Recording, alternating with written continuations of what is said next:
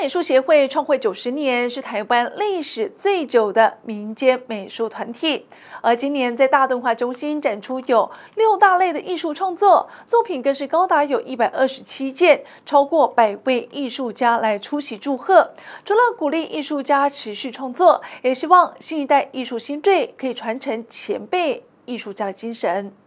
台湾历史最悠久的民间美术团体台阳美术协会，这天在大墩文化中心展出六大类艺术创作作品，高达一百二十七件，逾百位艺术家共同出席祝贺，见证这场艺术飨宴。创办的时候是几位都是油画的啊，油画的会来这个老前辈。那后来呢，到第六届增加了这个胶彩画，呃，胶彩画部啊。那第七届呢，再增加了，呃。雕塑部，哦，那到三十八届增加版画部，哎，所以总共呢，我们就总共呢有有六部，哦，所以太阳可以说是一个，呃，综合性的哦，民间美术团体。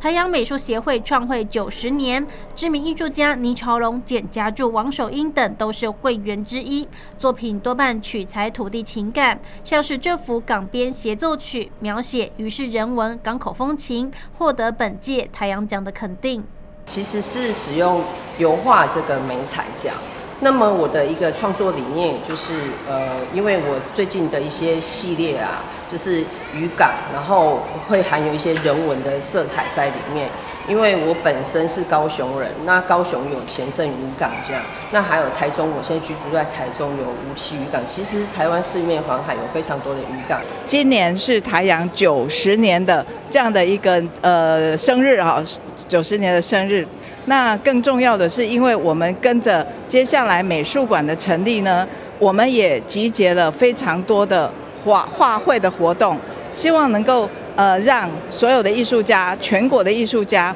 借由画会的这样的一个组织，这样的一个呃交流，可以让自己的作作品更为精进。